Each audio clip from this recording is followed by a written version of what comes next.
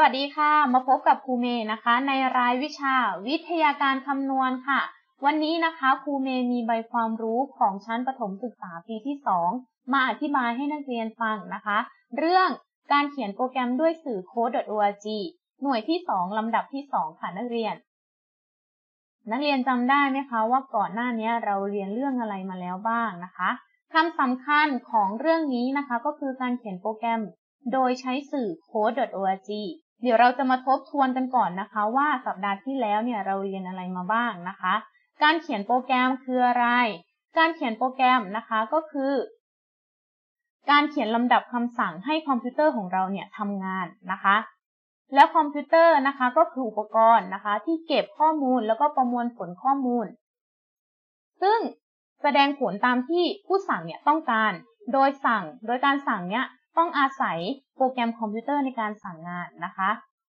การลำดับคำสั่งนะคะก็คือการเรียงขั้นตอนการทำงานเพื่อให้การทำงานได้ผลลัพธ์ตามที่เราต้องการนะคะ ส่วนการลำดับคำสั่งให้คอมพิวเตอร์ทำงาน หรือการเขียนโปรแกรมนะคะก็คือการเขียนลำดับคำสั่งให้คอมให้คอมพิวเตอร์หรือว่าหุ่นยนต์ของเราเนี่ยทำงานนั่นเองค่ะ โปรแกรมนะคะก็คือ การแสดงลำดับขั้นตอนคำสั่งเพื่อให้คอมพิวเตอร์ทำงานทำได้โดยการเขียนโปรแกรมหรือว่า programming นะคะ หรือจะเรียกอีกอย่างหนึ่งว่าการเขียนโค้ดหรือ coding ค่ะ ก่อนที่เราจะลงมือเขียนโปรแกรมนะคะ หรือว่าการวางแผนการทำงาน เขาเรียกว่าอัลกอริทึมใช่ไหมคะ หรือการออกแบบการทำงาน การแสดงลำดับขั้นตอนการแก้ไขปัญหาต่างๆ ก่อนการทำงานนั่นเองค่ะ โดยจะต้องมีการเรียงลำดับหรือว่าการสั่งงานเป็นออเดอร์นะคะที่ถูกต้อง เพราะว่าคอมพิวเตอร์หรือหุ่นยนต์ของเราเนี่ยเขาไม่สามารถคิดวิเคราะห์เองได้ เราจะต้องทำงานทำตามคำสั่ง แล้วก็ตามเงื่อนไขที่กำหนดเท่านั้นนะคะนักเรียนจำได้ไหมคะว่าคราวที่แล้วเนี่ยเราได้ใช้สื่อแบบอันปักหรือว่าบัตรคำไปแล้วในการฝึกเขียนโปรแกรมนะคะ ส่วนในครั้งนี้นะคะครูเมย์จะมีสื่ออีกหนึ่งสื่อที่เรียกว่า code.org มาให้นักเรียนได้เรียนรู้แล้วก็ศึกษากันนะคะ code.org คืออะไรนะคะ code.org ก็คือเป็นสื่อหรือว่าเว็บไซต์สำหรับผู้ที่ต้องการฝึกเขียนโปรแกรมเบื้องต้นนะคะแล้วอ่าอันนี้ก็จะเป็นหน้าตาของ code.org นะคะ ก็จะมีในวิธีการเขียนโปรแกรม มีคำสั่งที่เอาไว้ลาก แล้วก็มีตัววางคำสั่งนะคะ แล้วก็มีเป็นโจทย์ให้เราได้ทำการทำตามโจทย์ด้วย อันนี้ก็จะเป็นที่ Angry Bird ที่เราต้องการเขียนโปรแกรมให้เขาทำงานนะคะ มีการเขียนโปรแกรมแบบเป็นคำสั่งแบบเป็นบล็อกนะคะ หรือว่า block program programming เมื่อเหมือนกับการต่อจิ๊กซอว์ที่เราเขียนโปรแกรมนั่นเองค่ะ มีรูปแบบการเขียนโปรแกรมเลยนะคะอันนี้ก็จะเป็นเป็นชุดคำสั่งของเขา เมื่อเรียกใช้งานจะต้องทำยังไงหันขวาหรือว่าไปข้างหน้า หันด้านซ้ายอะไรประมาณนี้นะคะ ซึ่งใน code.org เนี่ยเขาก็จะมีหลักสูตรนะคะ มีรายการหลักสูตร โดยที่เราเนี่ยกดไปที่รายการหลักสูตรเลยจะให้เลื่อนลงมาด้านข้างล่างนะคะเขาก็จะมีรายการหลักสูตรให้ดู จะเป็นหลักสูตรจะเป็นคอร์สตามช่วงอายุนะคะ จะมีเป็นช่วงอายุอะคอร์สที่หนึ่งเนี่ยอายุสี่ถึงหกปี คอร์สที่สองนะคะก็จะมีอายุเป็นหกขวบขึ้นไป คอร์สที่สามแปดถึงแปดถึงสิบแปดปี และคอร์สที่สี่สิบถึงสิบแปดปี ผู้ที่เข้าไปฝึกเขียนโปรแกรมนะคะ สามารถเลือก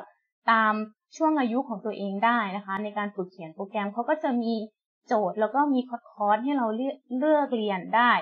หรือว่าเป็นบทเรียนนั่นเองค่ะ แล้วก็ยังมีหลักสูตรอีกสองรูปแบบนะคะ ในการฝึกเขียนโปรแกรมก็คือ แบบไม่ต้องใช้อุปกรณ์ไฟฟ้า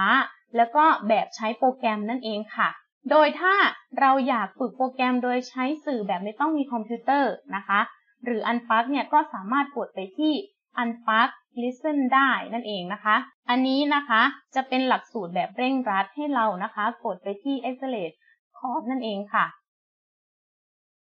ก็จะเข้าไปก็จะเป็นหน้าตาแบบนี้จะเป็นหลักสูตรแบบเร่งรัดนะคะ โดยสำหรับให้ผู้คนเอ่อให้คนเนี่ยเข้าไปฝึกเขียนโปรแกรมแบบ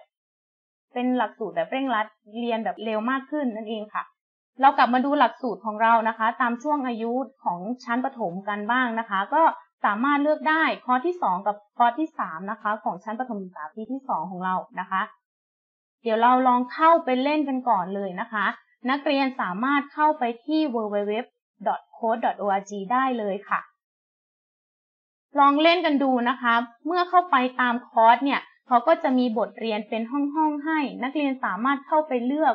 ตามบทเรียนได้เลย1ถึง10 1ถึง11 อะไรประมาณนี้นะคะ ซึ่งในแต่ละบทเรียนเขาก็จะมีวิธีการเขียนโปรแกรมที่แตกต่างกันออกไป มันจะมีความเป็นการ์ตูนให้เราเลือกเล่น แล้วก็สามารถเลือกใช้งานได้ตามที่เราต้องการเลยนะคะ ฝึกเขียนโปรแกรมได้ง่ายมากยิ่งขึ้น แล้วก็เข้าใจมากยิ่งขึ้นนั่นเองค่ะ ในการฝึกเขียน code.org นะคะ จะไม่ยากเกินไป ถ้านักเรียนไม่เข้าใจค่อยๆ ฝึกการทำฝึกการเขียนไปเรื่อยๆ ให้เกิดความชำนาญนะคะ วิธีการเขียนโปรแกรมนะคะ เราสามารถฝึกให้เราเนี่ยมีการเเรียงลำดับคำสั่งให้ง่ายมากยิ่งขึ้น การทำงานของเราก็จะได้ผลลัพธ์ตามที่ต้องการได้ค่ะ จบไปแล้วนะคะสำหรับใบความรู้เรื่องการเขียนโปรแกรมด้วย code.org นะคะ เดี๋ยวเรามาทบทวนใบความรู้กันก่อนนะคะว่า ถ้าเราไม่มีคอมพิวเตอร์ในการฝึกเขียนโปรแกรมเนี่ย เราจะใช้อะไรแทนได้บ้างนะคะ ก็จะใช้ในการใช้สื่อ Unpark หรือว่า code.org นะคะ แล้วก็สื่อ code.org เนี่ยคืออะไร อ่า อันนี้นักเรียนให้ อันนี้ครูเมย์ให้นักเรียนกลับไปคิดดูนะคะ เดี๋ยวเราจะมาพบกันใหม่นะคะ ในใบความรู้หน้าก็คือการตรวจสอบหาข้อผิดพลาดสำหรับคลิปวิดีโอนี้ สวัสดีค่ะ